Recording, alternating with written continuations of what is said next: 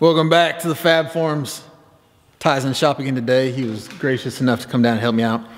So we're back working on this thing. And a couple things I want to do. Obviously, you seen in the last video, uh, got the rear kind of tidied up. I want to get the inside clean so I can get everything primered just the way this one is. May fill some holes and stuff on the firewall. But I think the first thing we're going to do is we're going to remove this bumper cover.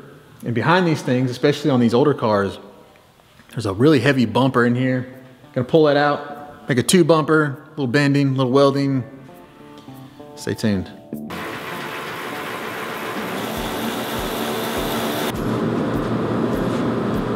The inside there.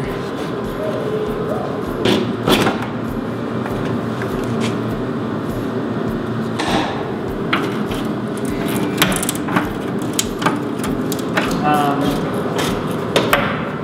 glasses, we can cut those off.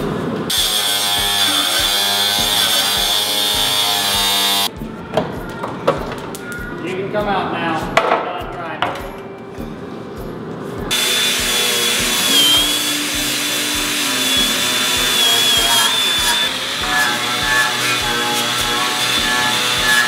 All right, so we cut the bumper off.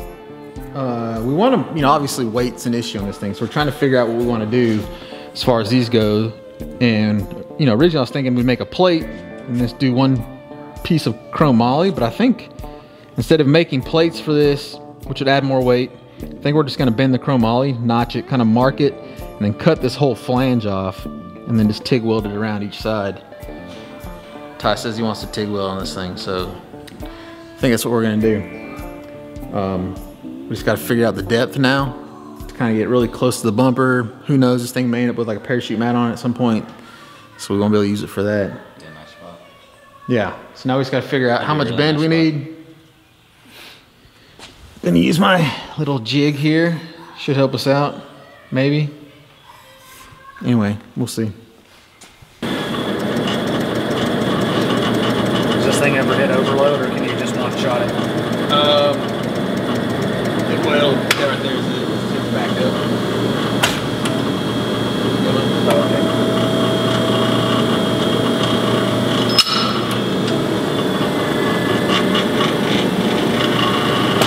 Yeah, and it's at zero now. I wonder if it- I mean, this thing needs to be level, otherwise it's not gonna matter. Yeah. You know? Do I have a look see on the car before pulling the piece off? Well, I guess it doesn't it's matter off. now. No, it doesn't. It's off a little bit, but for what we're doing, it's not gonna matter.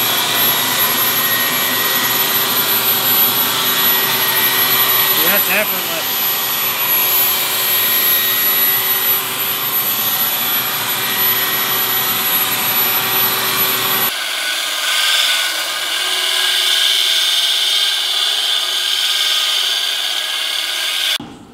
Oh shit. I got him a little crooked. Oh, wait, I'm an idiot. I did get it a little bit crooked though. It looks pretty flush to me. Oh, on this side. I got that. Oh, The oh. angle that's off because of the slightly. twist of the tube, maybe.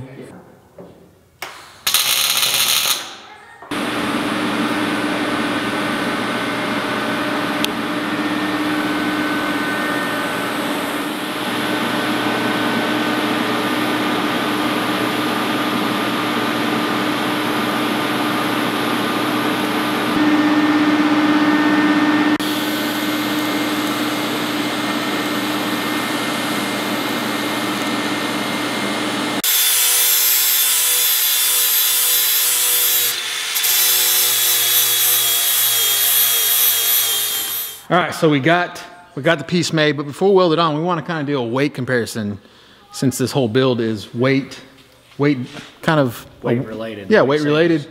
Got the stock bumper over there, plus the tabs we cut off. So if you look, we've shortened these tabs on the back. So those material, the material we cut off, we basically threw it in that.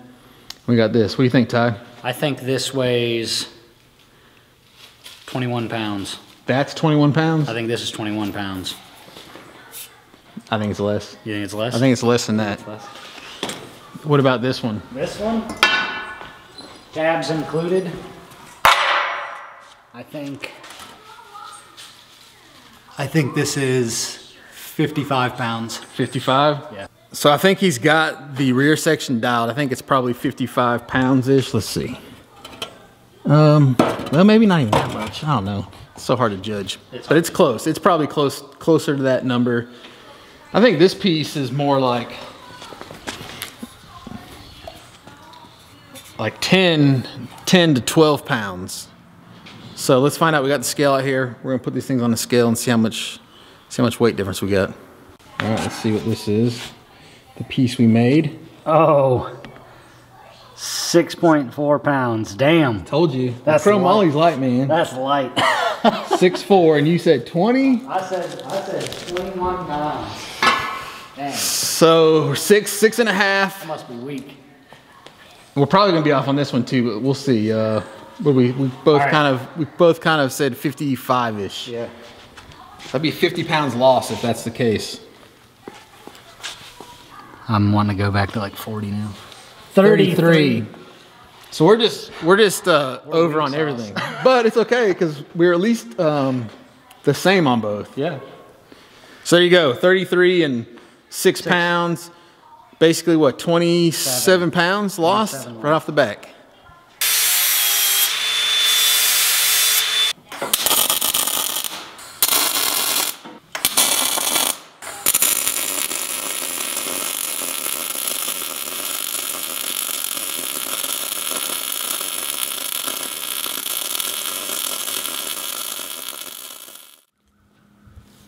Well, I think the fabrication on this thing is getting really close to being done.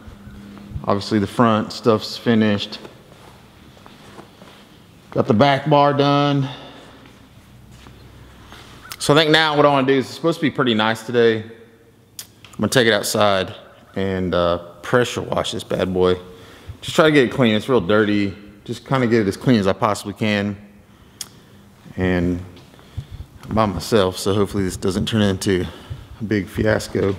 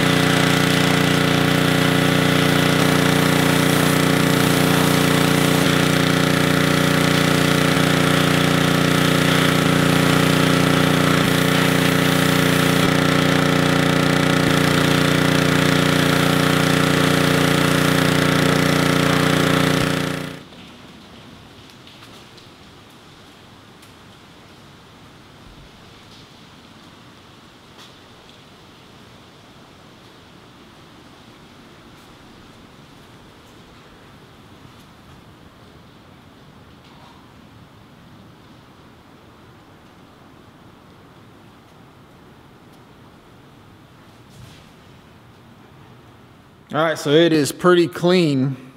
I'm pretty happy with it. Blasted everything. I mean, there's still a couple of things I'll have to kind of clean up on my own, but I mean, for the most part, I got what I wanted done done.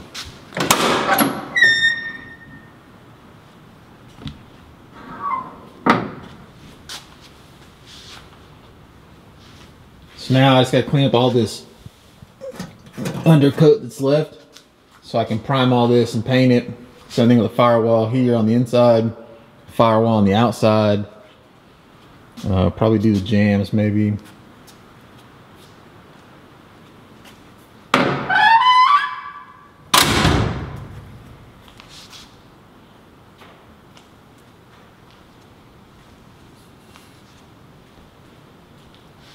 Probably go ahead and start coating some of this stuff so it doesn't rust. Because like the strut towers are still bare. But yeah, man, there was like tons of nastiness all in here. And it's all nice and clean now. So I think that's gonna be it for this one. Got it, well, one step closer, I guess. Back bars in, nice and clean. Keep working on it. Try not to make, you know, another mess. So anyway, as always, thank you for joining me. I'll see you guys some more this week. Go do work, son.